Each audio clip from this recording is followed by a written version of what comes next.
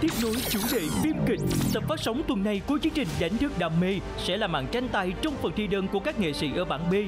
Với sự đầu tư nghiêm túc và nỗ lực hết mình, mong muốn vượt qua vùng an toàn của bản thân, cũng như tạo nên bước đột phá mới trên hành trình chinh phục đam mê. Vì vậy, ở vòng này, bốn nghệ sĩ gồm MC Lê Nguyên Bảo, biên đạo múa Dương Yến Châu, MC Phục Thế Vi, Á hậu Hà My hứa hẹn sẽ đem đến cho chương trình những tiết mục hấp dẫn, bất ngờ và kịch tính. Cùng với đó là những màn hóa thân đầy biến hóa mới lạ so với các vòng trước của cả bốn nghệ sĩ.